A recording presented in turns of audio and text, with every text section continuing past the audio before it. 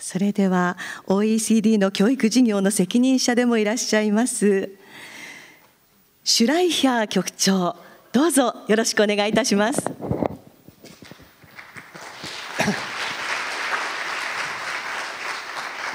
Ohayo gozaimasu. Good morning. When I listened to Mr. Minister Shibayama talking about Society 5.0, I just realized again how challenging it is to educate children for their future and not our past. To educate them for jobs that have not been created, to use technologies that have not been invented, to solve societal problems that we can't even imagine today. The reality is that the gap between what our societies demand and what education systems produce is actually becoming wider, not narrow every day. One of the things that we do at the OECD is to track quality of learning outcomes. How fast are our education systems moving? And in a field like science, which is so fundamental for tomorrow's world, we started this in 2006. 2006 is a long time ago for most of us. Happened to be the year before the iPhone was invented. We didn't have smartphones that changed everything in those days. Twitter was still uh, sound, the Amazon still a river, but you take an education system like Japan, one of the most successful systems in the world, highest performing on most international comparison. And you can see progress has just been quite limited between 2006 and 2009. And the world didn't stop in 2009. Remember, that was the year when maps became dynamic, Google Maps, cars became electric, starting to drive without a driver.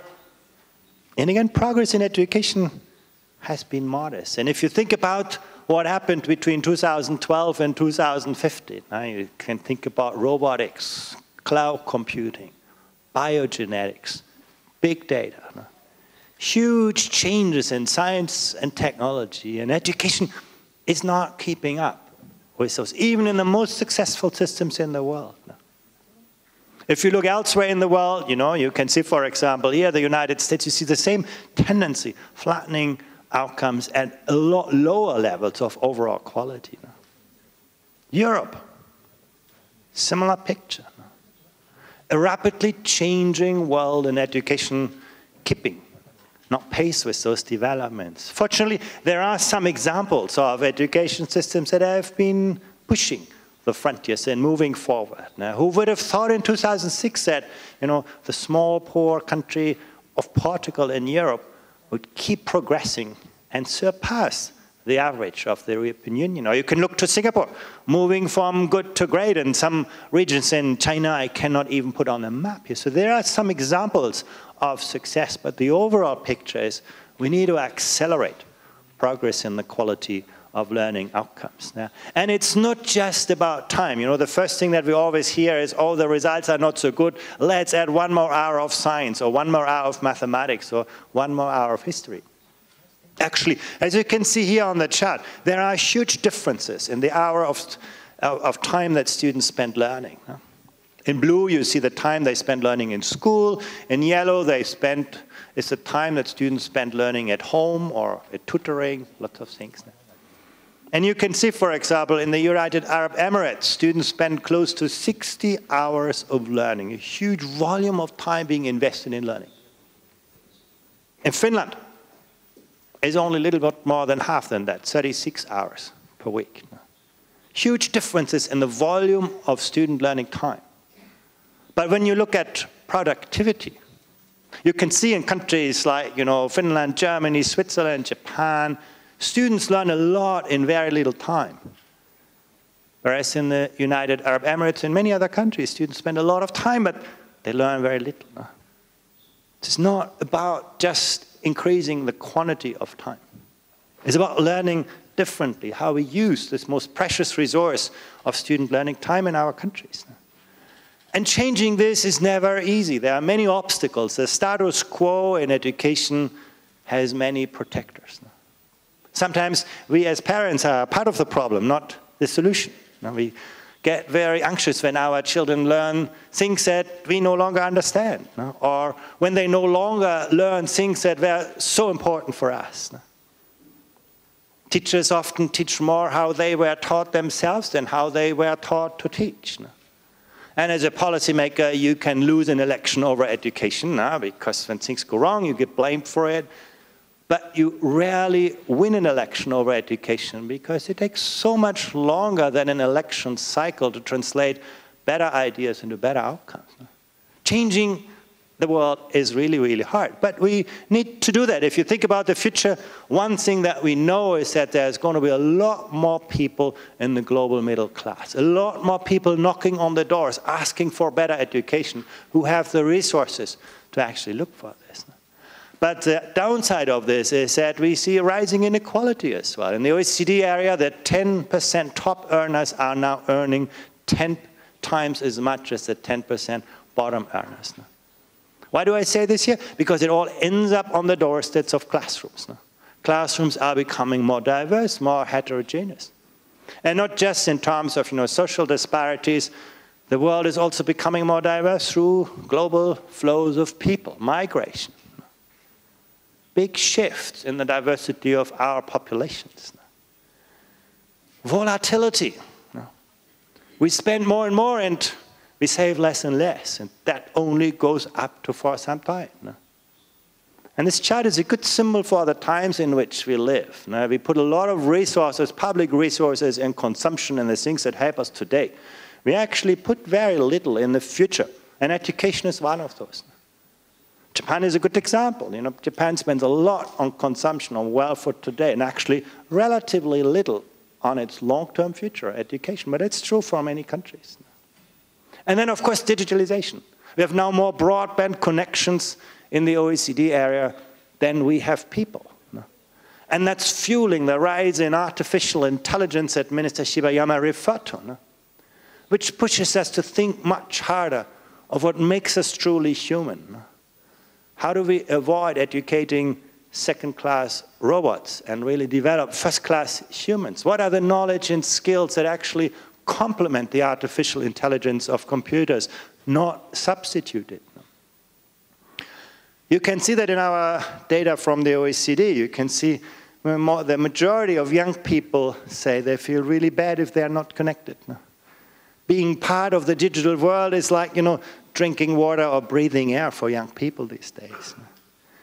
And we also see that the kind of things that are easy to teach, easy to test, have become easy to digitize to automate.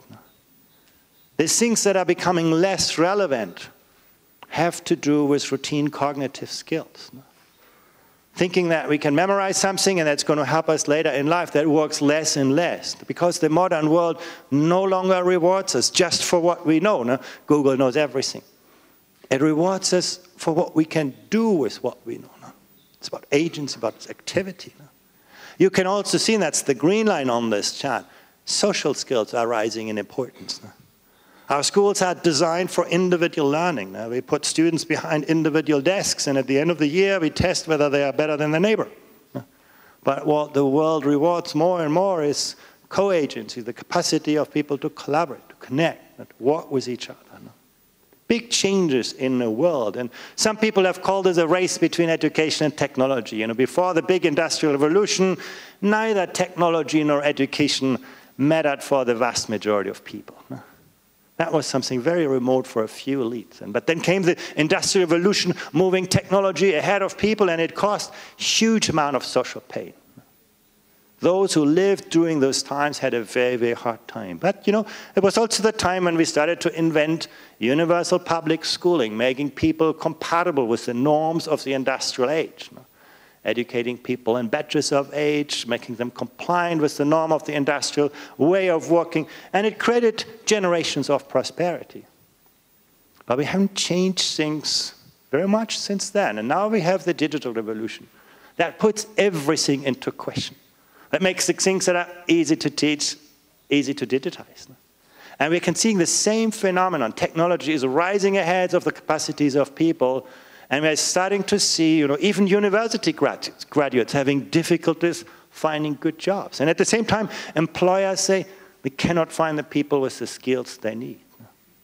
So the question is, how do we actually move people again ahead of the technologies of our time? That is the big challenge of our times. If you think about, you know, society 5.0, technology has been incredibly democratizing. Everybody can collaborate, everyone can contribute, connect, and so on. But technology has also concentrated power at a rate that we have never seen before. Technology has been incredibly particularizing. The smallest voice can be heard everywhere. You post something on Twitter and anybody can follow you. But it's also been incredibly homogenizing, squashing individuality, cultural uniqueness. Becomes hard, It becomes much, much harder to preserve identity, agency, purpose. Technology has been incredibly empowering. You know, there's no better place to see that than right here in Tokyo. The big inventions are changing the world. The most successful companies these days have the product before they have the money. They are started with a big idea, not with a big industry. As individuals, we can change the world these days. But we also see the other side of this, and which is the incredibly disempowering force of technology. Where algorithms are starting to understand ourselves better than we understand ourselves. Where we, be, we become the slaves of, you know, computer algorithms. It's wonderful that a GPS brings us, you know, this morning to this conference center, to the United Nations University. You can find it anywhere on the map. But also it disempowers us. It takes away our capacity to navigate ourselves. So this is the world in which we live, and the kind of education that we need for this world is a very different one than for the future. Once again, you know, we had that smartphone 10 years ago. Soon after, the digital world and the real world began to match, and everybody got connected. But some things that were very easy in the past became very difficult. Let me start with something very straightforward. You think about reading skills. Every teacher will say, well, I know how to teach people to read. You know, that's about a set of techniques, literacy, to access knowledge, manage knowledge, reflect, and so on. But that was the literacy of the past. That was about extracting knowledge that had been written by someone else. And when you didn't know the answer to a question, you could look it up you know, in an encyclopedia and you could trust the answer to be true. Most of what students read in the past was carefully digested. You know, the textbook they get in school were carefully reviewed by ministries and so on. And today, they live in this digital world. And when they ask a question, they get 100,000 answers from Google, and nobody tells them what is right and what is wrong, what is true and what is not true. Literacy is no longer just about extracting and managing knowledge, it is about creating knowledge. It's about navigating ambiguities, about making judgments, finding out what is right and what is wrong. And in the same way, we can say it's wonderful that technology connects us all, you know, social media, everything is sort of connected. But at the very same time, the reality is that it's actually harder for people today to embrace the diversity in our society. You know? Technology, social media connect you with people who are thinking like you, who look like you, who are like you. It is actually, school used to be the first place for most people to experience the diversity in society. That's where you meet people who are different from you. You learn different ways of thinking, different ways of working. And technology works in the opposite way. So that is why even very traditional things, literacy, numeracy, have got a very different meaning in the world in which we live and are much, much harder to teach. Let's think about this for a moment, what this means. In the past, you know, education was, you know, isolated from the rest of the world. We put, you know, students into school and the world outside. Students actually are very good in keeping students inside school and the world outside apart from school. We had a clear division of labor, what everybody's doing. Today it's about a shared responsibility. Team Gakko, as they call it in Japan, you know. How can teachers work with other forces in society, with other types of stuff, together to address the needs of children? How can the social and the educational function become one? The traditional approach to analyze was, you know, we put something into the system and we're going to get something out. Today we need to look at much more carefully at the process of learning. How do different students learn differently? How do I actually know not only my subject as a teacher and how students learn that subject, but how do I know my students? How they are different? In the past, you know, there was a static curriculum with linear learning progressions. We teach everybody in the same way. Today, we need a very dynamic approach to learning? In a way, you know, that distinguishes us a lot from the medical sector. If you are in, you know, the health sector, the first thing that you do is, you know, you look at people. You take their blood pressure, their temperature, you try to understand what is sort of happening to them. And then you try to find a medicine that is right for them and you know, later you follow them very carefully. In education, we still give everybody the same medicine. No? And then we just wait and wait and wait and hope things will be okay. It's no longer good enough. We need those kinds of transition to do this no? in the education society 5.0. And at the heart of the education of the 20th century is what we call student agency. The capacity to do the capacity to mobilize our cognitive, social, and emotional resources. Often we know what to do. Often we have the skills to do something. But can we actually mobilize our cognitive, social, and emotional resources to do something? That's the heart of education. And when you, when you start to think about student agency, and it's not just doing things alone, it's also doing things together with people who are different from me you realize the profound implications that it has for the learning environments, where students are not passive recipients of knowledge, but co-creators of knowledge, where learning environments become dynamic, where students' learning is really at the center and not the passive recipients. But that's just uh, the heart. And if you think about student agency, you know, we ask ourselves, how well is it embedded in today's curricula or the curricula that are currently being designed? And you can see it varies. No? Even in countries that are geographically very similar. No? Compare, you know, Japan and China. In Japan, agency is happening, but still in a very modest way in the intended curriculum. China is, at least in theory, in the intended curriculum, very present. Look also how it distributes by different school subjects. In some school subjects, we are very good to deal with agency. In others, actually, much less so. There's no reason why agency should play a smaller role in the sciences than it plays in the humanities or in physical education. Physical education is a great place where you can learn to take responsibility for yourself, responsibility for others. No? Science as well. No? Why should students listen to an experiment when they can design an experiment? Those are the questions of our time. You can see big differences across countries, but in most countries, the bars could be longer if we want to make student agency really the core of education, and it has consequences. In fact, you know, one facet of student agency is the belief in our ability that we can actually change things, that we can do things. And you can see again, that's where you know the mirror image of the curriculum is what we see in those outcomes. Again, when I look at the results in Shanghai and China and Japan, they're almost on opposite sides of the spectrum, on the horizontal axis. On a vertical axis, I put the outcomes in mathematics. Self believes in mathematics and outcomes in mathematics. Do I believe that I can change things? That I have the capacity to solve impossible problems? Where I do, I'm much more likely to succeed in a field like mathematics. No?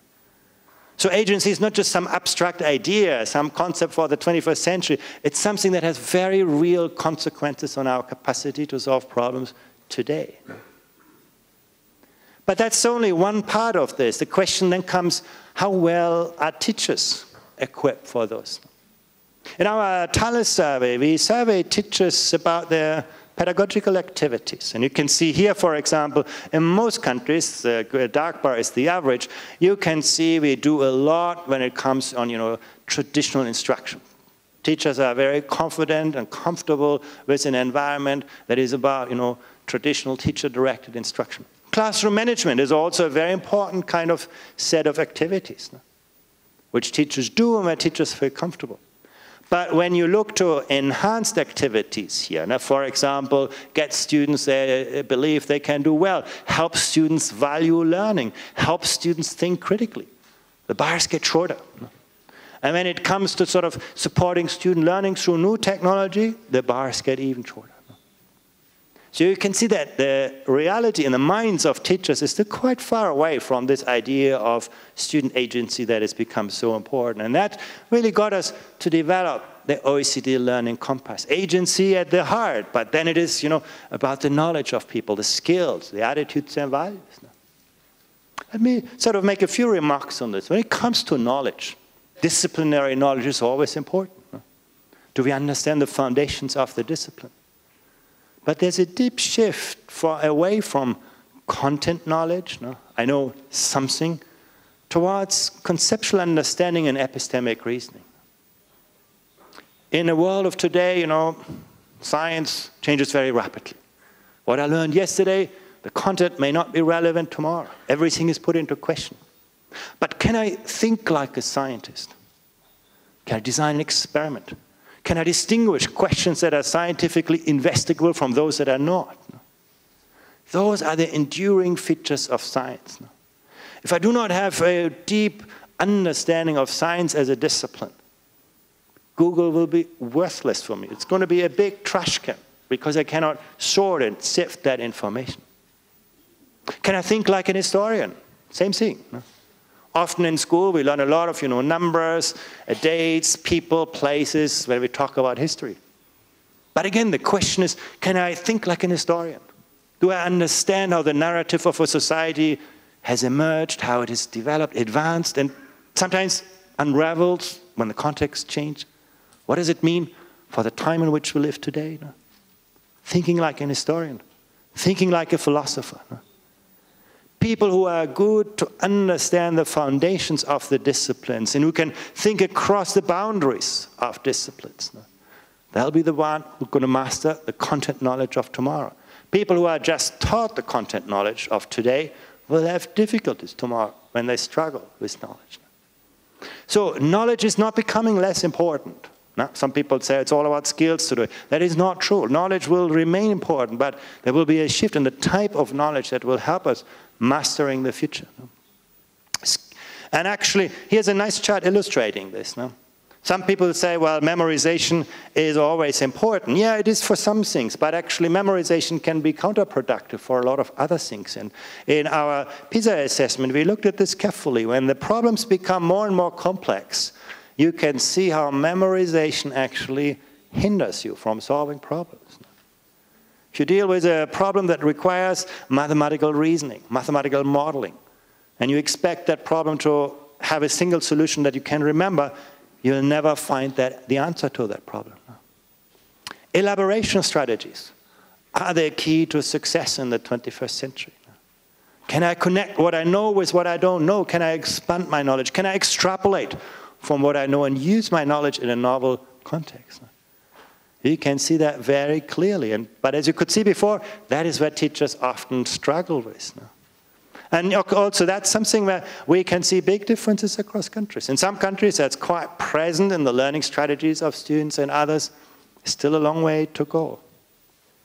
But let me turn to the skills dimension. Now, when we talk about skills, the first thing that people think about is, you know, cognitive skills, creative thinking, critical thinking. They're very, very important. But as you have seen in the chart before, what's actually rising most rapidly in the demand are the social and emotional skills of people. That's distinguishing us most from the artificial intelligence of computers. Creativity, some people believe that's a domain of humans. Actually, computers become pretty creative already. They can create solutions to a chess game that humans have not thought about in hundreds of years. Creativity is possible.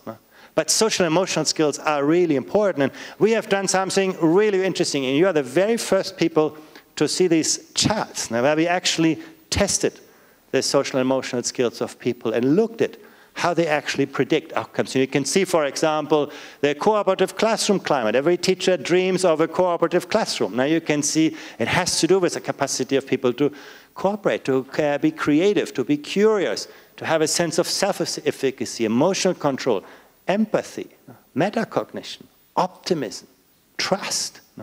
Where we are able to develop those kinds of knowledge and skills, classrooms, climates are better. So it's not, you know, cl uh, classroom climate will improve if I, as a teacher, impose more discipline or think about the environment. It's actually about strengthening social emotional skills of people. No? Bullying in school is negative related with the same kind of social emotional skills. No? Not with all, but with most. No? Developing stronger social emotional skills will be a good guarantee to actually limit the incidence of school bullying. Better focus. No? Every teacher wants their students to focus, to learn with you know, concentration, to be persistent. And again, that has something to do with the social emotional skills. And what's interesting, you know, we tested the students, of course, but we also asked their parents, and we asked actually the teachers. And what was so interesting that, you know, the judgments that parents and teachers said were actually quite similar with the results that we got from students. That was one of the most interesting findings that actually the observation, what we can quantify and what we can observe is actually beginning to match on this. No? Uh, closer social networks. No? Also that, you know, the capacity of people to collaborate, to compete, connect. No? Actually, again, something that's very important to uh, social skills.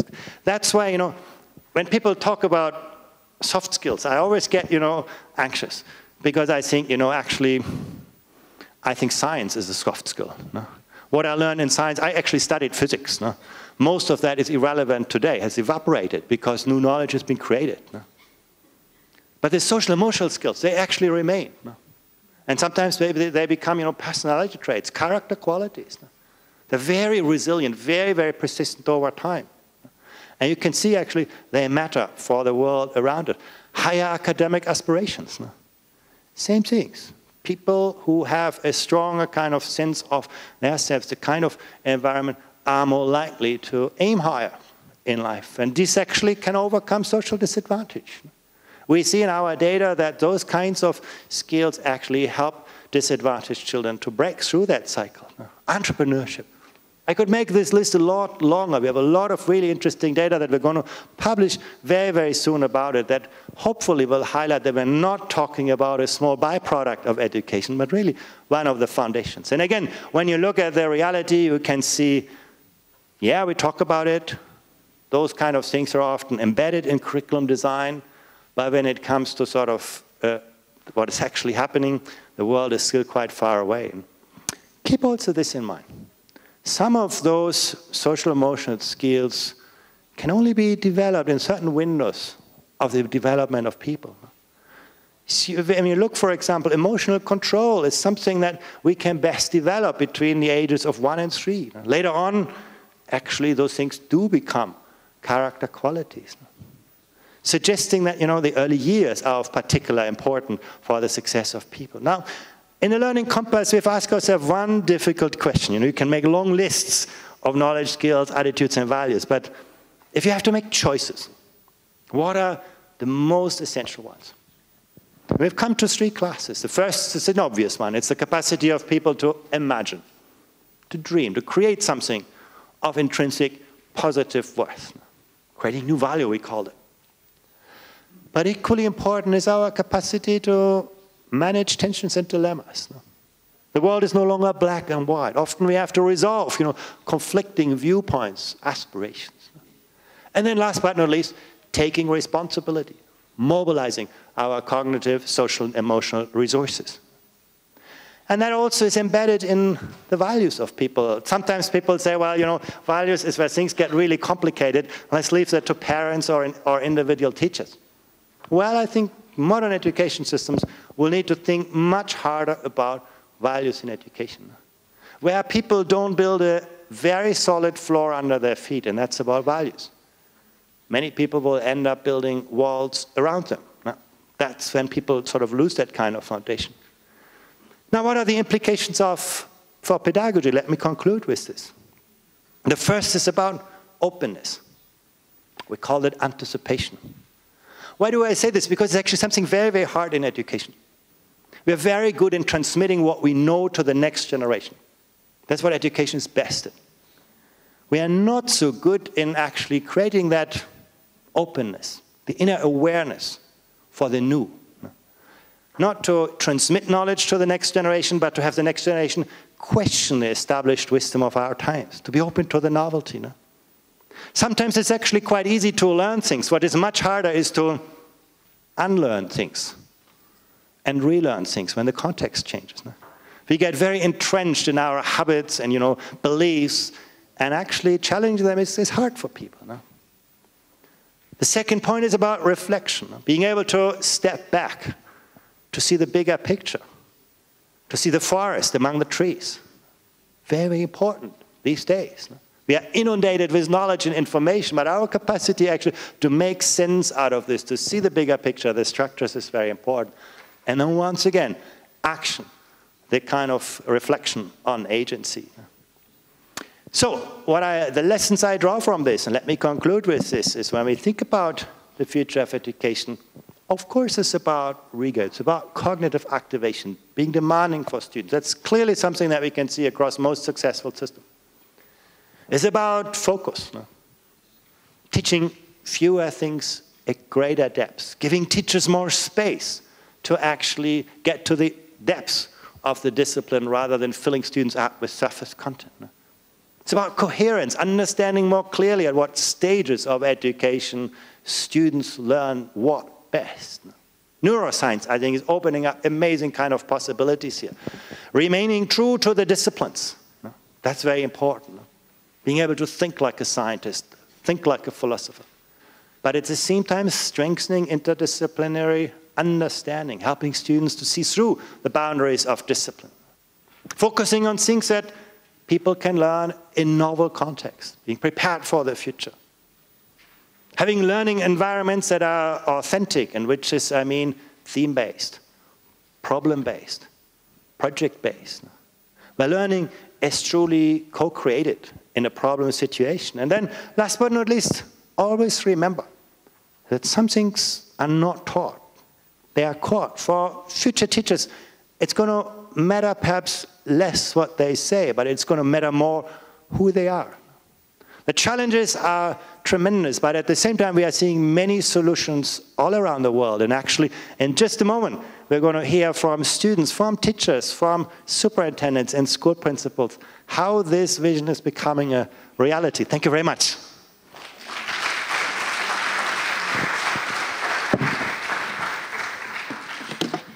シュライヒャー局長どうもありがとうございました今一度大きな拍手をお願いいたします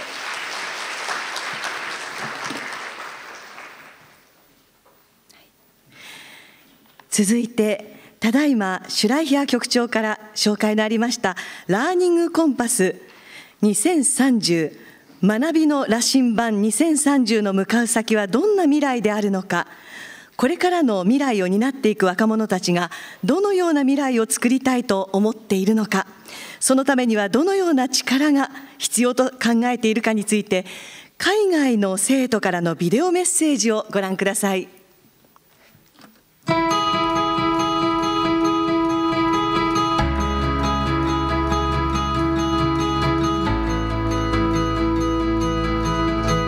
The we want is really taking in the student voice in that. So we're going out, asking our peers, asking our classmates, our sisters, our brothers, everyone basically, what they want for the future, and creating that into one big narrative, which we then bring here at the meeting. So the reason why we want to create a student voice in the form of the future we want is that the future we want is basically a promise. That's what the end goal is.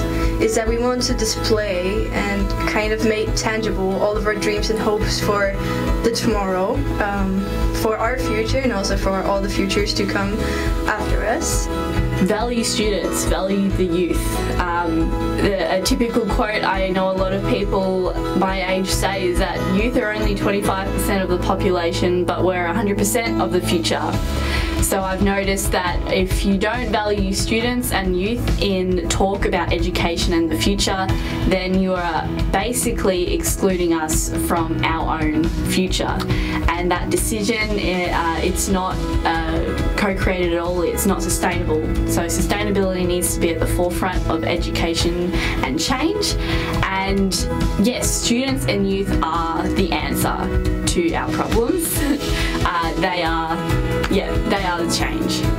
Okay, so when, when thinking about how education should be in the future, um, uh, I think that where, where it goes wrong is when adults think about what the future should look like, when adults think about what education should look like for the students, when there's no communication between the two, there's no like loop of, of feedback, there's how are you gonna create an education system that works for the students if you don't work with the students. As we spoke about uh, co-agency, you know, making classes engaging for the students and the teachers, it doesn't have to be necessarily the teacher teaching. It can be uh, uh, just a, a collaboration. You, you, can have the students present and lead the class for a bit and, and show their case study, for example. It, it, I think rethinking education in terms of um, getting the students out of the, the seats, out of the classroom, and, and be active citizens and participate and not wait until they are grown ups to participate. I think that's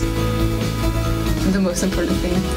I think the students are very important to help the other students. Not just not oh the teachers are bad. No, it's not like the students need to help the other students, not just the teacher or the dad or the mommy or daddy or you, you know.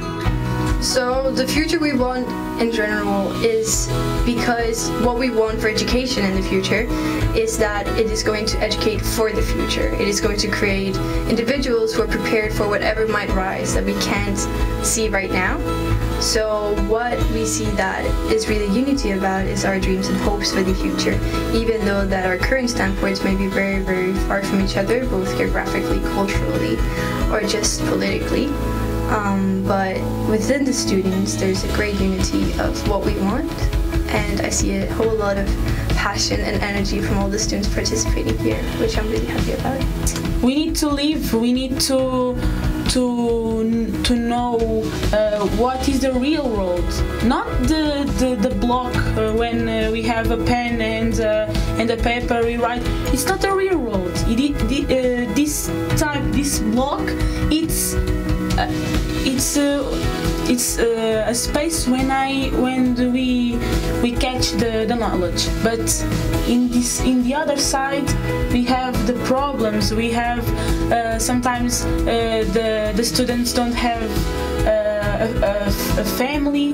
It's, it, it, it's happened. Uh, don't have a family don't have the, the conditions to to to have a life uh, with health and with happiness. And I think it's very important the emotional skills. In in Portugal the the most important thing to, to do in in our educational system is to change something uh, about the final exams that it's too much for us like three years it's uh, valued in three hours in a class sitting writing uh, just for that moment that count that like determines our, our life forever.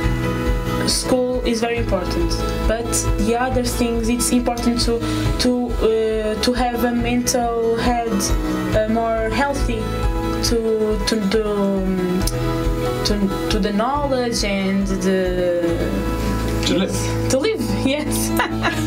My theme in education is that students and teachers can learn together together not like teachers teaching students the answers but to figure, figuring out the answer or the solution in issues together. Mm, i think it'll cultivate students the skills to think think about solutions like not for not with one approach but with many various ideas. And i think that'll um, i think that's the skills that students or children will need in the future. Um, i think maybe focus less on the curriculum as of the subjects we, we need to learn but not really learn we memorize them. But we need to focus more on developing certain skills, certain competencies that we need to have as future workers because um, we get out of the mandatory school at the 12th grade uh, not really knowing how to be an adult, not really knowing how how politics work, how we have to pay taxes. So that's definitely a key issue that needs to be implemented in school because if they are trying to form us as citizens, they should teach us citizenship. Um, and also, um, I think less, not less evaluation, but like more self-evaluation, because they will develop competencies such as leadership and autonomy, and more engagement between the teachers and the students, creating a, a relationship based on trust and confidence that will motivate each other.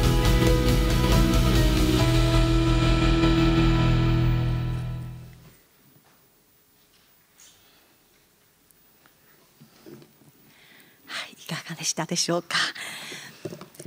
続いてラーニングコンパス2030学びの羅針盤2030で示されたさまざまな概念や資質能力が育つ教室の実践を福井県立若狭高校および福島県立双葉未来学園の生徒および教師の皆さんから発表をいただきます。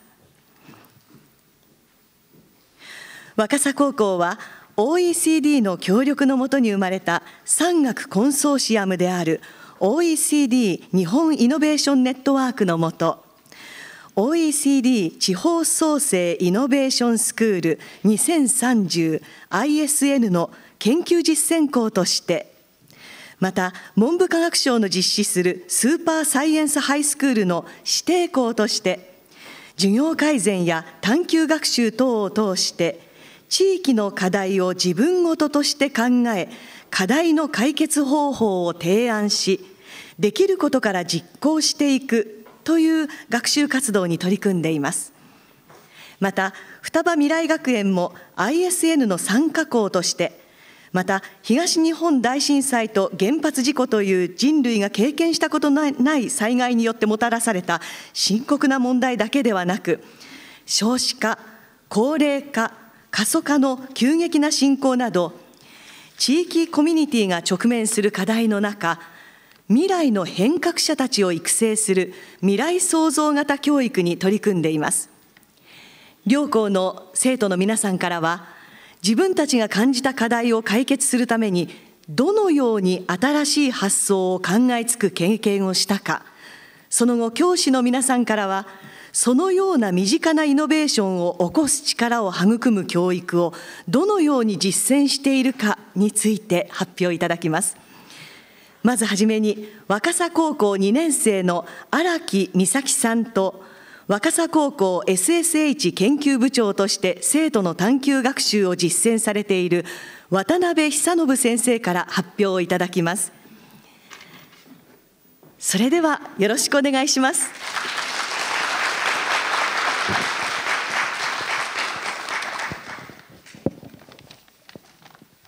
Hello everyone. I'm Misaki Araki from Fukui Prefecture High, Wakasa High School, Japan. Today, I will share with you my experience of growing agency through inquiry-based learning. I live in Takahama Town, Fukui. It is a rural area with a population of 10,000 people. It used to be a tourist site where a lot of people came to swim. But the number of tourists decreasing by 1 million people for recent 30 years, and the local economy is declining. I moved to Takahama when I was six years old because of my father's job. My family very nervous, but the people were there welcomed us warmly, so I came to love them. I am really disappointed to see that my lovely hometown, Takahama town, is becoming deserted. My high school has a class where students explore their inquiries as a research project. In the class, the town hall staff explained that in old days, Takahama town was filled with the sounds of geta, the Japanese wooden clocks, all the time, because there were many tourists throughout the year. Today, this is not the case. So I felt sad. The town is becoming empty. So I decided to choose a theme about local revitalization. I have become strongly committed to creating a better future in Takahama Town and to doing something for my hometown. I think this is an example of what the OECD Education 2030 suggests as agency. I think agency can be a small seed at the beginning, but it grows in time through various experiences.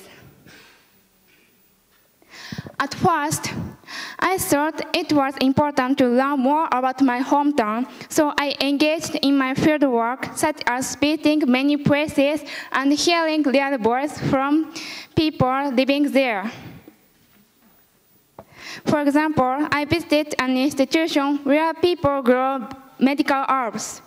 I learned that my hometown has a resource to improve health. Also, I interviewed a town hall staff and a member of tourist office. They told me that the number of tourists had decreased greatly when a convenient highway system was put in place, which put pressure to attract people not for convenience, but with real attractive contents. When I was reflecting on such contents, a librarian introduced me a book. It was about health improvement will create business opportunities and lead to local revitalization. I thought this was it.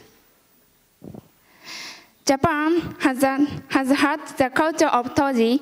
It is about taking a bath in hot springs and eating delicious food, which will heal our body and mind. The, this culture was developed more than 1,000 years ago. I came to think of connecting the two, better health and tourism, to attract visitors again to Takahama, which can help my town revitalize economically and socially. The idea of health tourism is that staying physically and mentally healthy leads to the real happiness. For me to come up with the innovative idea of connecting health and tourism, I had to have the foundational knowledge, such as the population in rural area in my social science class, and nutrition and health in my home economics class. Knowledge such as key concepts and big ideas help us to connect dots and create new knowledge. Also, meeting people outside school helped me to enrich my thoughts. For example, when I was trying to define the target group of the health tourism, a professional from a consulting firm advised me to target foreign visitors and to specify a target age group.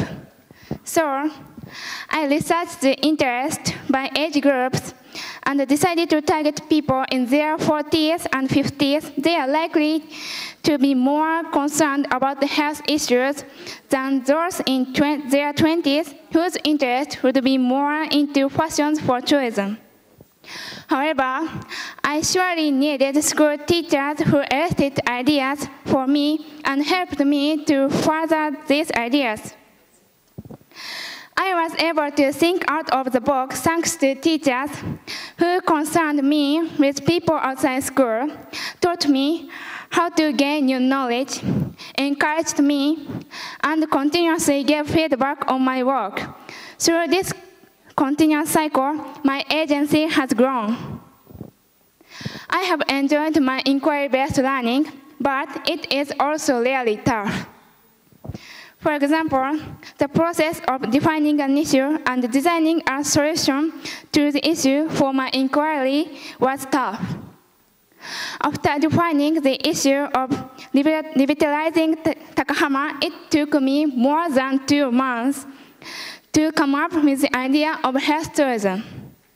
Even after coming up with this idea, no one had the answers to my inquiry. That is, how can we attract more visitors to Takahama through health tourism? No textbook, no teachers had the answers, so I was often at a loss. But I didn't give up. It was thanks to my grown agency, my strong will and belief that I want to make a change. I want to do something good in return to those people in my hometown to whom I have owed a lot since my childhood. My agency grew when those people support me. They also helped grow my self-efficacy by acknowledging my efforts, so I was able to continue my inquiry-based learning. In conclusion, I would like to highlight that agency does not have to do something big. It can be a small step, but it's a real action for our common good, for common future. Don't just think, but act. And the cycle of action, reflection, and anticipation from the OECD Learning Compass 2030 helped me to grow my agency. Please look forward to hearing from Takahama Town about the health tourism in the future if my plan, tour plan gets accepted. I hope to welcome you in Takahama with my tour plan. Thank you.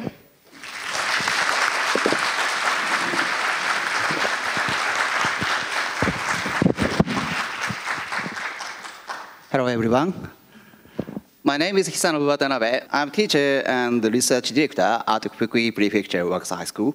Thank you, Misaki, for your wonderful presentation. As she emphasized in the part of her presentation, AAR Cycle fosters agency. This is not simply my professional observation, but this is supported by research evidence. For example, we analyze, analyzed what kinds of stages of inquiry-based learning are closely related to fostering agency. The results show that there is a statistically significant correlation between agency and reflection. In my view, reflection develops a sense of agency because through the process of reflection, students learn to recognize their own thinking and to make sense of it and to find purposefulness of their own actions. This will help students to develop self-efficacy too. Of course, reflection is not everything. In order to develop student agency, the school curriculum should ensure sufficient time and opportunities for students to design a project, in which they learn to be a questioner, identify a research question based on their authentic inquiry, and learn to suggest solutions to their own inquiry. For students to do this, it's necessary for teachers to develop certain competencies to support the students. Also, it's necessary for certain environments, including curriculum, need to put in place to support teachers. Let me explain how the curriculum development is managed at Wakasa High School. Wakasa High School is a public school with four divisions, International Division, Science Division, General Division, and Marine Division. It means our students are very diverse, including ones who want to become a doctor or a fisherman. For all of these students in all grades, we provide inquiry-based learning. Students take it one hour per week. This is the minimum hours in the Japan's national curriculum. The main objective of our inquiry-based learning is fostering students' ability to identify and formulate issues and to challenge in our community.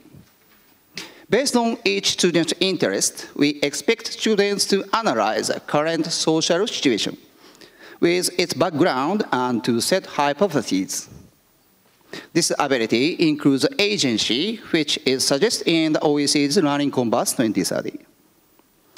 Wakasa region is located far from Tokyo and even far from the center of Fukui Prefecture. There is no university in my town. It means Wakasa has weak financial and academic resources.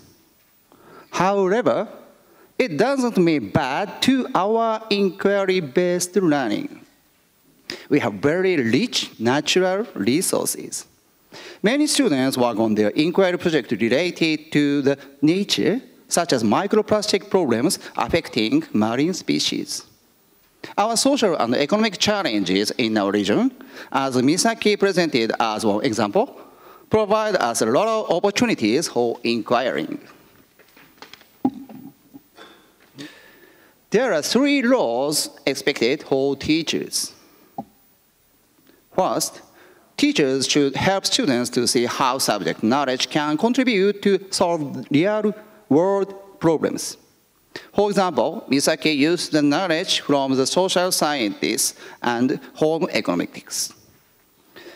Teachers encourage students to connect their inquiry theme with their subject knowledge in order to expand their views and ideas. Second, the important role of teacher is connecting adults outside of school with students. Because the selected themes by students are, are very diverse. Teachers cannot teach each of these details. People from local government and our local community, school alumni, and parents are willing to support our students with their professional experience and advice. Using this type of social capital doesn't cost much. We are very proud of having this good social network with many adults who are willing to help students and work together. This represents co-agency suggested on the Learning Compass. Third, the most impactful role of teachers is accompanying students and keeping them encouraged. As Misaki mentioned, inquiry-based learning is really tough. Even a good student like Misaki, she spent two months to identify her inquiry theme. Many other students also struggle to find the theme of their inquiry, and even after they define the theme, their struggle continues for exploring solutions to their inquiries. It's teachers who can accompany these students and encourage them to keep working in order to grow student agency. Teachers play a key role. In order to support students better, teachers collaborate. We organize a teacher meeting once a week within the work hour to discuss and design eh, lessons together. Teachers understand each other in a personal level. This enhances opportunities to develop co-agency among teachers. In addition, the experience of inquiry-based learning with diverse people motivates teachers to challenge implementing inquiry elements in their own subject classes. It expands teachers' views about pedagogies and enriches subject-based lessons. What would be the expected roles for school leaders in achieving these results? Fortunately, we have a very good school principal in our school he listens to teachers' company and support teachers as we do it for one stu our students. He trying to create open atmosphere in our school to encourage teachers to communicate and learn each other. This helps developing trust among teachers. Teachers and school leaders share visions and strategy to create innovative education for our students. These initiatives by teachers supported by school leaders led us to successful results in this spring, university entrance results in Wakasa High School was significantly improved, including entering top university in Japan. The students from the international course who applied to admission office exam passed it with 100% success ratio. The inquiry-based learning can provide positive effects on the university entrance exams, which is evolving in Japan. I hope that our efforts can contribute to the development of education around the world. Let's improve the world's education together. Thank you so much for your kind attention.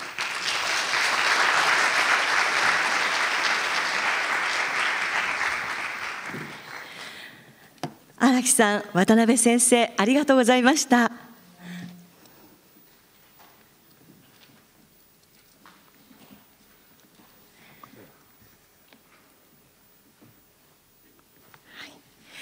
続いて双葉未来学園をこの春卒業し現在は新潟大学1年生の遠藤亮さんと双葉未来学園の南郷一平副校長から発表をいただきますそれではよろしくお願いします。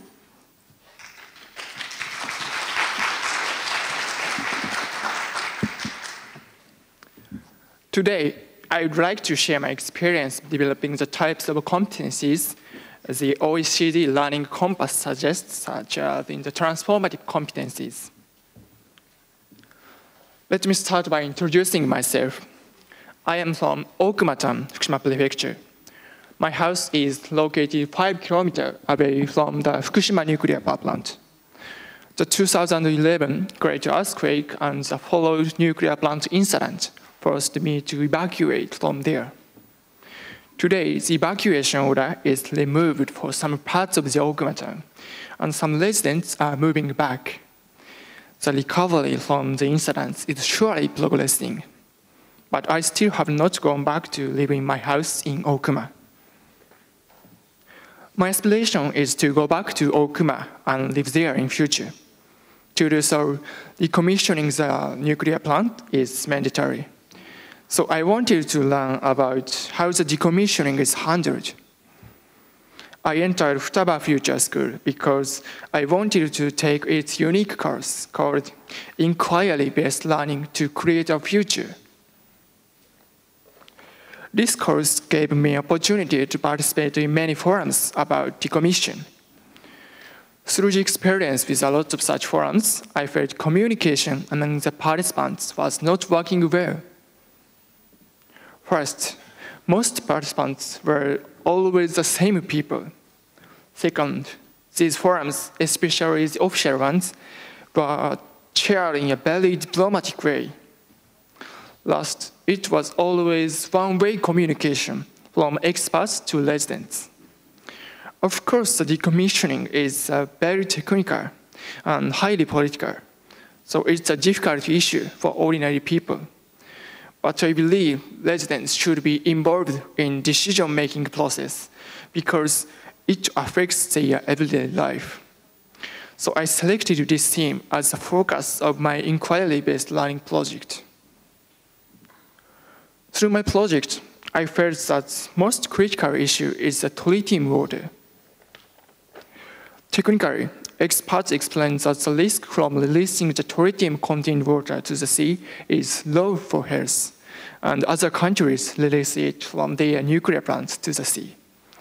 However, when it comes to the tritium water from Fukushima nuclear plant, it is treated differently. Negative rumors damage life of fishermen or residents, and economically and socially. So we need to discuss the tritium water issue, not only on its technical aspects, but also on social consequences. But in reality, I found no one around me did not know much about the issue. Even people who knew a little about it thought that it was a fisherman's issue, not theirs. And the fishermen did not want to be forced to make decisions because the sea belongs to everyone.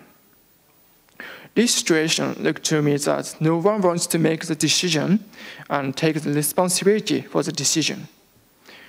I questioned myself, who should discuss this issue besides experts, so that we can get out of the stuck situation and create a better future? This is very similar to the OECD transformative competencies, creating new value, taking responsibility, and reconciling tension and dilemmas. I came up with an idea of involving high school students in an open roundtable discussion about decommission. Because first, I thought high school students should know about the real issue of their future. Second, high school students are neither experts, fishermen, or residents, so we don't have vested interest in particular views. So I thought we could be bold to discuss sensitive issues more openly, for which we will be responsible after all. Organizing an open roundtable discussion sounds easy, but it was very difficult to do. The biggest challenge was to involve ordinary people who usually don't participate in this kind of discussion. They usually don't know, bring on the real this discussion are organized and are reluctant to go in formal settings. So we chose a venue in a free space at a supermarket in order to make them feel easy to join the discussion.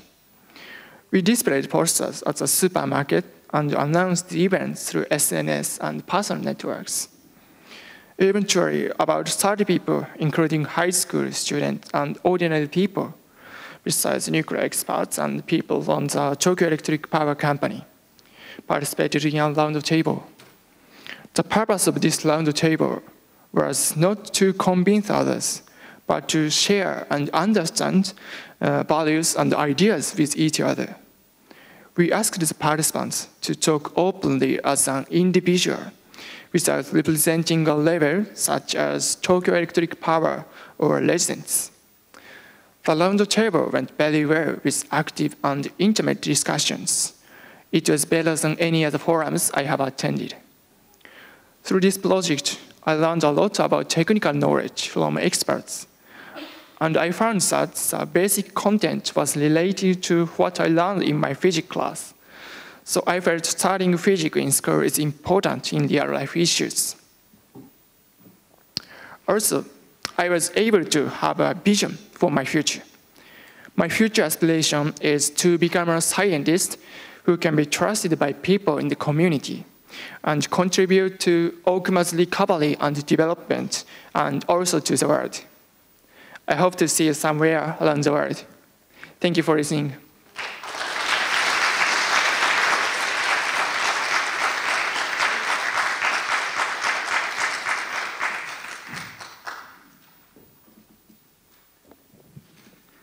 Thank you, Ryo.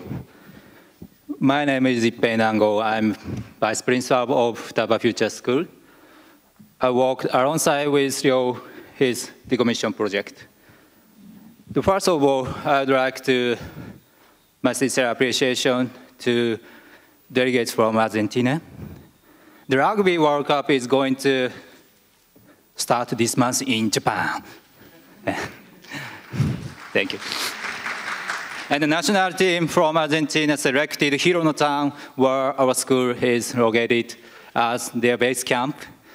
Back in 2002, the national soccer team also stayed in our town for the FIFA World Cup.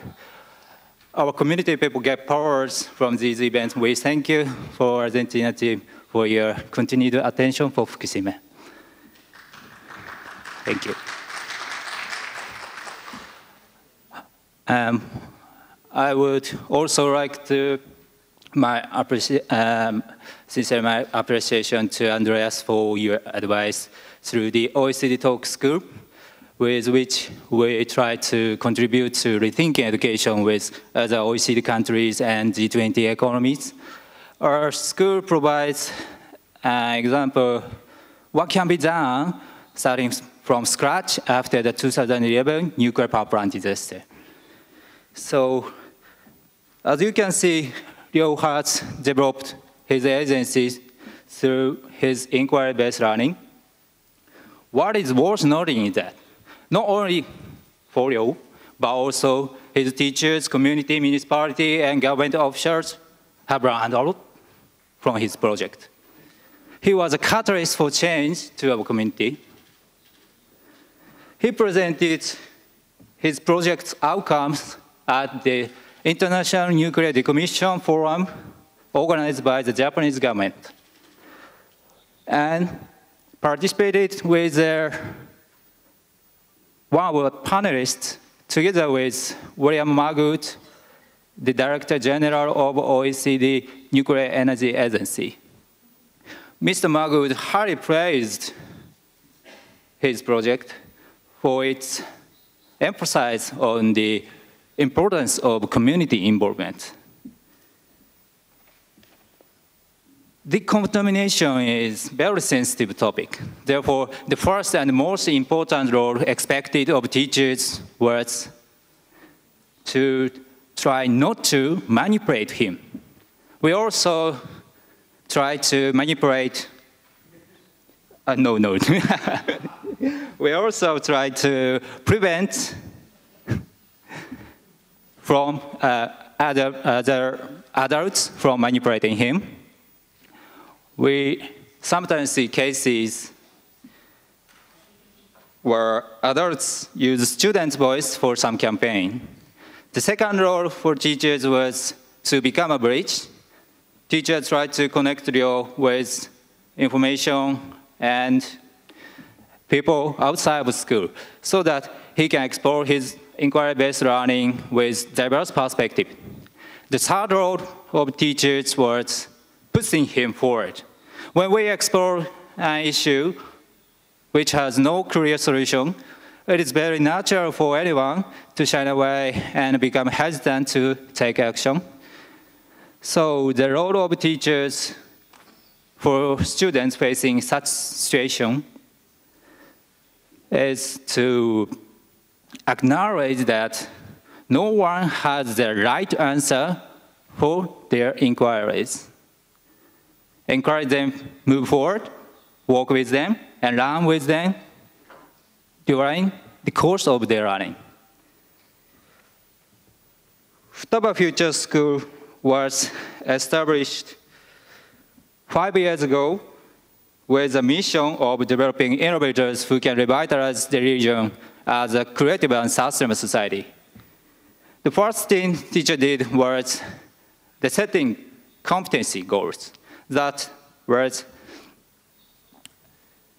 specifying types of competencies we want to develop in our students. Based on the lessons learned from OECD Tohoku School, we created a rubric. Our school competency goals include, for example, critical thinking and creativity, responsibility, active participation in the society. They are similar to the transformative competencies defined by the OECD Learning Compass 2030. In order to develop these competencies, we introduced an intensive integrated study called inquiry-based learning to create a future. Students are expected to identify challenges in our region and suggest solutions and take action to overcome these challenges. The key feature of this course is that students spend three hours per week for two years for project-based learning which is typically more hours and a longer time frame than the average hours and duration set by other schools. In this goal, all students define their own project theme.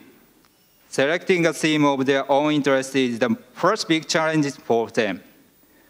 Without rushing them to select a theme quickly, we ensure six months for students to identify a theme, which they really want to carry out from their heart, something they will want to pursue for the rest of their lives.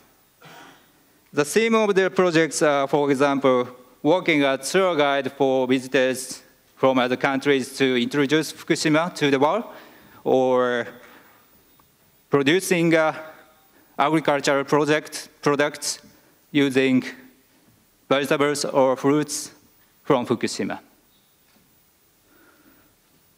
We consider that this course as the core of our curriculum, not as an add-on. The agency Ryo demonstrated today cannot be developed only within subject-based learning. There are some competencies which can be developed when facing actual challenges in real society, meeting professionals in the real world who are also struggling to overcome these challenges. Students take action towards their own ideas by themselves and experiencing both successes and failures firsthand.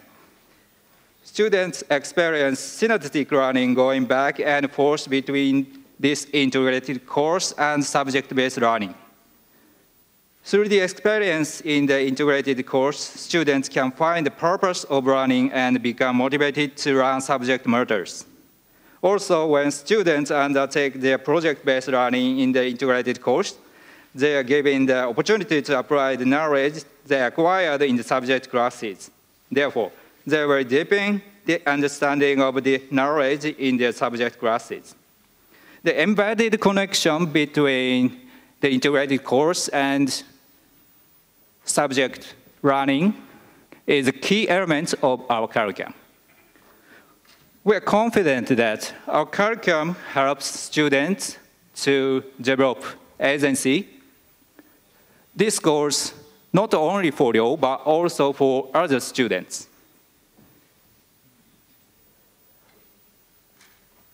Our research shows that 80% of students who graduated this spring say that they were able to find ways to live as an active citizen. And 90% of students were able to find a vision of the future they want to thrive in. I want to highlight that agency can be sufficiently developed within a school curriculum without overloading students by adding specific courses about agency development. When we launched our school, some teachers argued that it's better to reduce the time allocated for this integrated course because it is difficult to measure its outcomes. Others wanted to spend more time on teaching knowledge, which could help students to get better scores in university entrance exams. However, today, all teachers are very confident and very proud of our curriculum because they witnessed how our curriculum helps students to grow students' agency and competency goals as we expected. Our curriculum is fully in line with today's national curriculum reform, and the Ministry of Education mentioned that the integrated course should be used to represent the mission of the school. They also suggest that the community and school should work together to provide students with inquiry-based learning through actual experience in society. So you can see our curriculum is in full alignment with the national curriculum. Today's Japanese national curriculum delegates flexibility and autonomy to school. So it is important for teachers and school leaders to exercise our own agency to use this flexibility for maximum benefits for our students.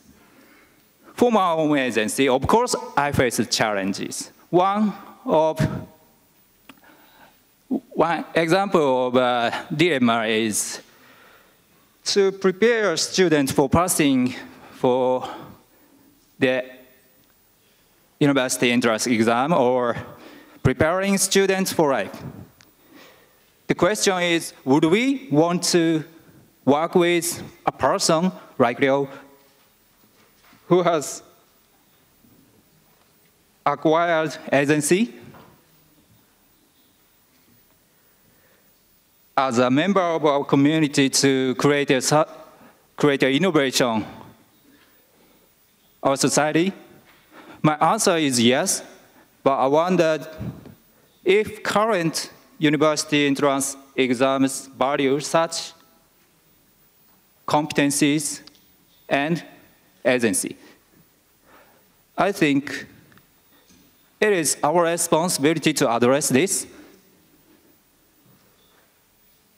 I do hope that the panel discussion following my presentation will address this topic today. Thank you.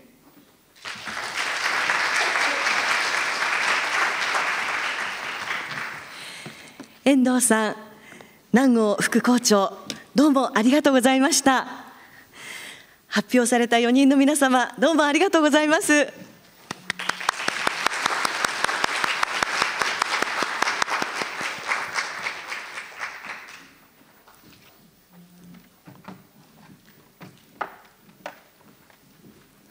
少しセッティングの時間をいただきます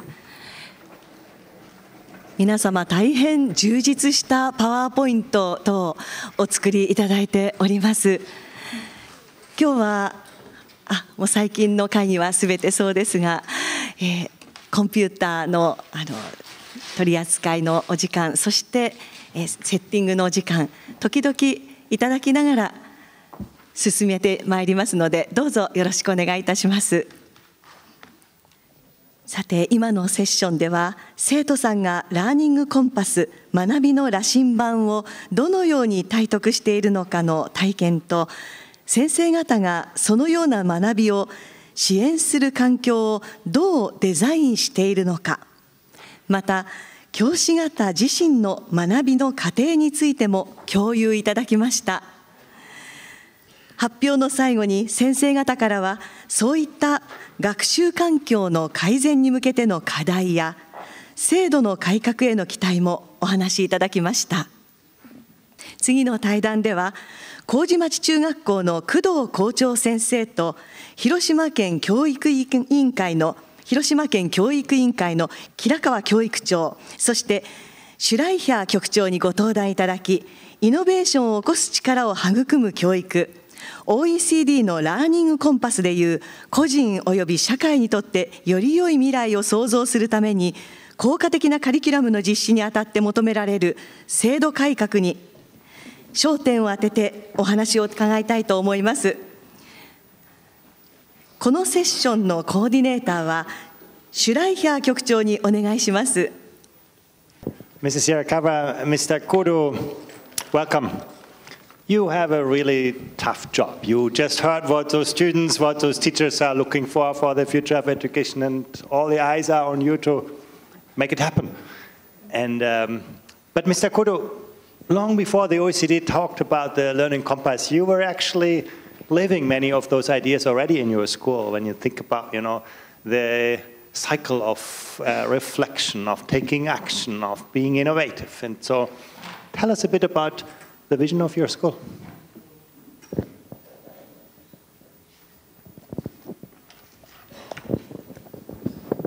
はい、えー、麹町中学校から参りました工藤でございます。どうぞよろしくお願いします。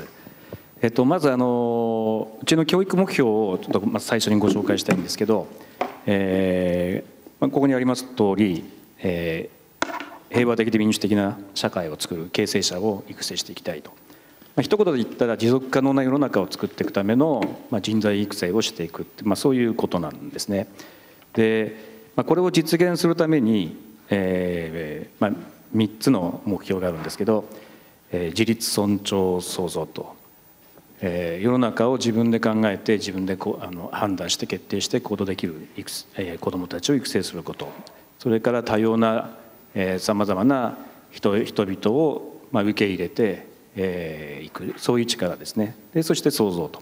でこれを、えー、具体的にもっとあの、えー、具体的にしたものがこの OECD の実は2003年の、えー、キーコンピテンシーですねあのデセコを使ったものなんですけど、まあ、これをもとにあの作成をいたしました、えーまあ、自立という部分が、えー、この B にあたりますねそれから、えー、尊重にあたる部分が C にあたりますしえ想像にあたる部分が A であると。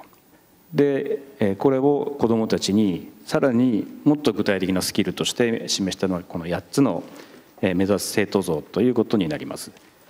えで、えー、とここから日本の教育の問題点に少しあの話を移していきたいと思うんですけど、えっとですね、日本の教育はですね、まあ、文部科学省がまあ生きる力を育成したいと。えー、上にあるのが、えーまあ、自分で考えて自分で行動できるそういった自立した人間を育成したい。でこれを、えー、具体的な手段として表したものが地域特育体育と。この3つにあたるんですけど実はこの、えーと、OECD の先ほどのスキルとこの文科省が示しているこのものっていうのは、まあ、とても日本的でいいあのこの日本の目標はいいんですけど実はなかなか目指す、えー、スキルっていいますか子どもたちが身につけなきゃいけないものがなかなか不明確になりやすい、えー、ということなんです。でここちょっと具体的に示してみたいと思うんですけど、えー、自立した力を、まあ、生きる力を育成するために、えー、その真ん中の、えー、学力にちょっととあの注目をしてみたいと思いますここですね。でそうすると日本の,、えー、の多くの学校は、えー、こういった力ですね、えー、できるだけ多くの知識を注入してそれを回答用紙というペーパーにアウトプットする力、まあ、どうしてもここに特化してしまう。でこれを身につけさせるためにどんなことを行うかというと何度も繰り返して繰り返して例えば補習をやるとかですねドリルをたくさんやるとかそういったことでペーパーの力をアップさせる。でも実はこれ最初の本当の目標ですね。一番上の目標は自立をする人間。自分で考えて自分で判断できる、え、そのことを目指したはずなのに実はこの手段である、え、真ん中の、ええー、となんですか？学力を高める。ペーパーの学力を高めるところに注目が行き過ぎてしまう、まあ、手段が目的化してしまうっていうことですね。そうすると確かに、えー、繰り返せば学力はペーパーは上がるんですけど、えー、一番上の目標ですね。これを実は阻害してる、まあ、損ねているということになります。自立した人間を育成したいはずだったのに学力をアップさせることだけに注目したために実は自立を削いでいく、まあ、こういったことが日本の多くの学校で行われているということになります。えーまあ、こういったところですかね。Thanks so much. And uh, like in our learning compass, this idea of uh, student agency and co-agency is really at the heart of your school's vision. But um, I'll still be interested. How do you actually achieve the transformation towards this idea of agency? What obstacles and difficulties did you encounter and how did you resolve them?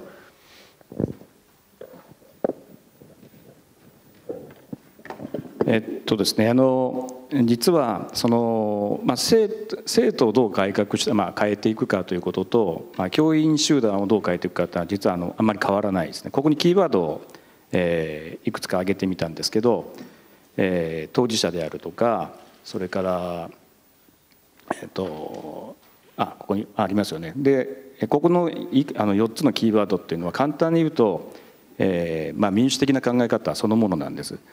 で、えーと、私が最初にやり始めたことっていうのはたった2つのことですね。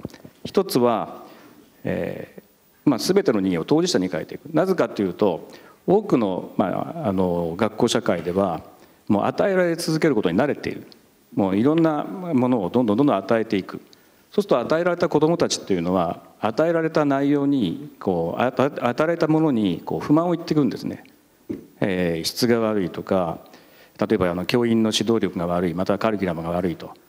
もう一方的に与えられ続けたも与え続けられたものをまあこなしていくっていうことがとても子どもたちの当事者意識を奪っていくってことですね。不満しか述べないそういった子どもたちになっていく。でこれはあの、えーとまあ、学校の職員室も同じですね。教員集団も全く同じです。保護者も全く同じですね。ある意味で言ったら日本企業そ日本日本の社会そのものっていうことになります。ですからこの当事者意識を変えていくっていう作業がまず一つ大事っていうことですね。でただこの当事者意識を変えていくっていうためにはじゃあどんなことをやればいいのかってことになるんですけどえっ、ー、と実は簡単なことを言えば一人一人の人間に、まあ、責任と権限、まあ、権限ですね。創意工夫する権限を与えてあげればいい。で権限を与えてあげるってことをやればいいんですけどここでまた問題になってくるのが権限を与えるだけでは、えー、それぞれのこだわりに、えーえー、まあうんですかねこだわりに偏ってしまうということですね。えー、自分の成功体験とか、まあ、過去の成功体験とか、えー、またはあのどこかの国の、まあ、こういったものをやればいいっていうその手段にこだわっていくところですね。えー、そうするとさまざまなところでコンフリクトが起こして結局物事が決定しないということが起こります。でそこでもう一つが大事なところが目標を合意していくってことですね。まあ、先ほどの最上位の目標を合意していくってことから始めてでそこそれを実現するための手段その手段が上の目的と照らし合わせて、えー、問題ないかっていうその作業を一人一人ができるようにするってことです。ちょっとだけ例を持ってきました。一番分かりやすいのでこれは日本の、えーまあ、運動会って分かりますかね？あのスポーツフェスティバルって言ったのがいいのかな？またまたまたは、まあ、スポーツそのものって考えてくればいいんですけど日本のスポーツスポーツはですねここにあのいくつか書いてありますけど何を重視するかというと多分日本人は間違いなくこれを言いますね。協力するとか団結するとかですね、まあ、そういったことが大事だと言ってましまうんです。でこのことをもう上位の目標に設定してしまうと、えー、みんなが協力したり団結することが目的になるので多くのあの運動が苦手な子どもたちが学校来なくなったりするんですね、えー、楽しめなくなってしまう。ででこのことが起こらないようにするためにはもう一度本当に大事なものを、えー、みんなで、えー、対話をしていくことが大事ってことですね。で対話をするときに、えー、大事なものがこれですね、民主的な考え方。上にあるのは、みんなはちみんなの考え方はもともちろん違っていいと。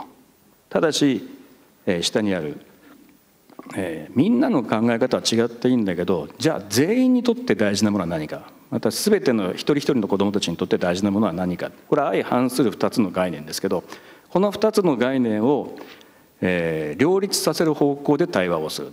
これが大事になっていくとことですね。そうするともう一度これを考えるわけですね、えー、あなたは何がっていうんじゃなくて今度は全員にとって何が大事ですかっていうことを話し合う。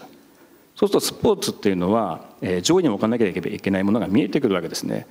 スポーツっていうのはもともと障害があっても障害がある人であってもなく障害がない人でもまた運動がうまくても下手くそでもうまくなくてもですねみんなが楽しめる、まあ、ここですね。え楽しめることが最上位でしょっていう、まあ、合意ができる。そうすると、えー、職員とあの子どもたちそれから保護者の間で最上に置くものが設定できると指導方法が変わってくるっていうことになるってことですね。えー、まああのまあ、そんなところですかねですから、えー、ちょっと飛ばしちゃいますけどこれあの、まあ、子どもたちが対話を通して、えー、あの合意形成をしてるシーンですね。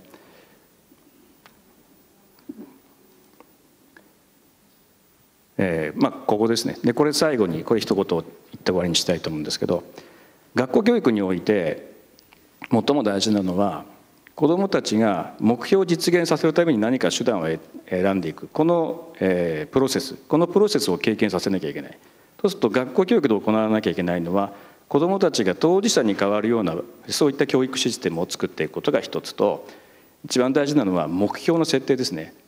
最上位の目標をこれを間違えてしまうと対話が起こらないってことですねだから最上位の目標が必ず民主的に対話が起こるような目標を設定するっていうことが、まあ、最も大事になってくる、まあ、そんなことだと思います。Thanks so much. It's so encouraging to see how actually these very complex and demanding ideas can actually become a reality in, a, in the school life. And um, I also know that you work on this not just on the basis of ideas, but actually that you use even the latest findings from neuroscience to develop the right pedagogies. And uh, perhaps most importantly, you didn't, didn't say that, but your school also shows that 21st century learning doesn't come at the expense of traditional success in school, but can be the cause of traditional success of school. Your school is also one of the academically uh, most successful ones. But um, Hirakawa-san, I have a question for you. As a superintendent, everybody expects from you that schools are not successful despite the system, but because of the system. And sort of you have to create the enabling conditions and the support for schools actually to live those kinds of ideas. Mr. Kudo outlined. Uh, tell us a little bit more about it. And particularly, I think you've highlighted in your work the pressure that exam also exam pressure that arises and how to actually change the goalposts in education to create an assessment and exam culture that supports 21st learning. 広島県教育庁の平川と申します。 えーと、教育長になってから1年と5か月になります、その前はですねあの民間人校長で横浜のあの中学校の校長をやっておりました、でその前は、えー、自分で起業してですね会社をあの経営しておりました。で今日あの、えー、広島県のですねまずあの目指すところの一番こう中学になるところの教育の大綱から少しお話をさせていただきたいと思います。えー、っとジェネラルポイントの下ですかね。えー、っと対抗、えー、いろんなところございます。Each person will continue to learn activity というところなんですけれども、えー、一人一人がですね、生涯にわたって主体的に学び続け、多様な人々と共同して、新たな価値を創造する人づくりと、これが広島県の教育の大綱で、とにかくこれを、えー、1にも2にも目指していくとということでやっております。で新しい学習指導におきましては、主体的対話的な深い学びっていうのを重視されてますけれども、えー、私も教育長になる前から、え、学びの変革という形でこのあの新しい学習指導要領に準じた形で広島県の方は改革をしておりました。でもう一つですね非常に重要な、え、点といたしまして教育のチョイスっていうのが私掲げております。あのこの地域に住んでいてこの学校しかなくってやり方もこれでこういう学び方でやりなさいというふうに言ってたのが今までの日本の教育だと思います。食べるものもこう着るものもすごく日本は自由なのになぜか教育だけが不自由だということをずっと思っておりましてこの教育のチョイスを広げるためにさまざまなオルタナティブな、えー、チョイスを作っております。その一つがですねこの4月に開校いたしましたあの広島グローバルアカデミー、えー、広島英知学園でございます。大変あの自然豊かなですね自然で、まあ、日本のエーゲ海と呼ばれております瀬戸内のですね海の風光明媚な、えー、島で開校いたしております。ダイバーシティを重視しておりましてえ、1学年40人。え高等学校からは外国人も20名プラスされてインターナショナルバカロレアというようなことであの学んでいきますインターナショナルバカロレアというとやっぱりインターナショナルスクールで年間あの300万とか400万とか高いトゥイションを払うお子さんしか学習できないということがございますけど私どもは、えー、パブリックですのでフリーです、えー、授業料もタダで、えー、学ぶことができるというふうなことが言えます。それからあの来年のところからですねこの、えー、初等教育においてもイエナプランオランダのイエナプランを持ってきましてあのソサエティ5.0時代の新たな学び方の在り方として、えー、実現していくようあの今準備しております。えー、広島県教育委員会も義務教育指導課というのを2つに分けまして1つはルーティンワークの方もう1つは新規部隊という形で個別最適な学び担当課というようなことを置いてさまざまなその、えー、ソサエティ5.0に向けた学びの準備研究、えー、それからこのイエナプラン準備等を進めております。えー、こちらの方はあの去年はあごめんなさいこれこれでえあれ？あこれですね。ごめんなさい、えーと、こちらの方はですね去年あのイエナプランの方あの見学に行った時のものをあの示しております。それから、えー、東大ロケットイン広島ということでこれはアクティビティベーストラーニングを、えー、趣旨としておりますけれどもえー、こういったチョイスもですねあの子どもたちにあの学校の一斉の授業じゃなくてこういう授業もあるんだよとこっちにも来てもいいよと出席扱いするよということでやっております。でこのようにですねあの子どもたちの日々の学びを変えていく取り組みをしておりますけれどもやはり重要なのはですね義務教育から高等学校へそれから高等学校教育から大学教育へと入学者選抜がですね旧体以前であるとなかなかこうまあやろうと学校はしてるんだけれどもなかなか現実追いついていかないというようなことがございます。でそうした中で、まあ、この3月に文部科学省が新学習指導要領の趣旨を踏まえました児童生徒の学習評価の改善にについて通知を出されました。ま、その中で高等学校の入学者選抜について新学習指導要領の趣旨等を踏まえた改善を行うということが指摘されましたのでこれ幸いということで、えー、今度はですね広島県の15歳の子どもたちにどのような力をつけさせたいかという根本的なところに立ち返りまして入学者選抜を、えー、改善する予定でおります。えー、スキームといたしましてはあのいろいろございますけれども、えー、と一番分かりやすい例としてはこの調査書というものでございます。えー、この調査書イメージ湧かない方もいらっしゃると思いますので様式を用意いたしましたけれども私神奈川県で中学校長をやる時からこれやめたいと思ってましたなぜかと生徒がですね調査書の内申点を良くすることを意識するあまりこうひらめになっちゃうんですね。先生の顔色ばっかり伺ってる。それから1年生の時に成績不振だった子が2年生3年生と上がっていっても3年間頑張らないといけないっていう仕組みだったりあるいは教職員にとってもあの非常にかあの過度な負担になっているということがございました。ただこれやめるわけにはいきません、えー、昭和22年に作られました学校教育法施行規則において入学者選抜で活用することが想定されておりますのでえー、やめるわけにはいきませんけども、県の方で自由にこれは採択ができます。そこで現場の校長先生方のご意見なども伺い、聞きまして、えー、ちょうどですね、これ、左から成績、それから行動の記録、それから出欠席、えー、インクワイアリーの授業のあの記録、えー、等々が載っておりますけれども一番問題なのは行動の記録とかその人のそのキャラクターに対しての先生の評価がここでなされてるってことなんですよ。これを全部えー、やめたいなというふうに思っております。えー、それからアブセンスも時間がいたからって言って学びができてるかってそうではないと思います。えー、結果多分これ残すのはラーニングレコードの一部というふうに、えー、今捉えております。えー、そうしたところからもですね高等学校の入学者選抜を、えー、改善していくっていうことでですね、えー、より一層あの主体的対話的な深い学びの実現をえー、やっていきたいというふうに思っておりますけれどもぜひですね文部科学省の方には大学入試制度改革のあの変更も、えー、一刻も早くお願いできれば高等学校の入学者選抜それからこあの大学っていうことで両面でできるかなと思ってましてこのシステムをやはり変えていくところがあのまずはキーサクセスポイントなんじゃないかなというふうに思っております。以上です。Thanks so much for sharing this experience, and I think also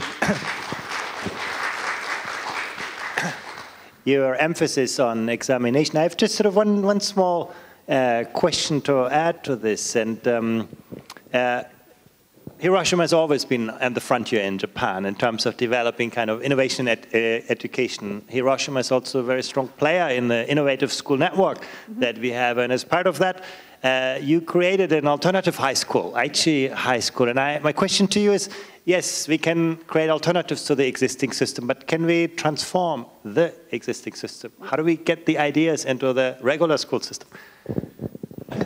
Um, so, um, yeah, since I was a um, principal, I was thinking about that. So, the first of all, um, I become when I become the uh, pre, um, superintendent, I told to my staff, okay, I'm to change. That's it. And then uh, I don't know, see what's going on, and uh, I don't know how to reform for everything, but uh, this is one of the example, but also I have to change the everything, you know, the curriculum or, uh, you know, how to, um, how to, you know, become the uh, school system or, uh, so everything. But the most important thing is uh, the um, education, choice of education is the most important thing. Even though the 5% or 10%, that's okay. That's going to be the you know, small step to change. Thank you so much. And unfortunately, we've run out of time, but I think you two are the living example that the learning compass can become real. Thank you again.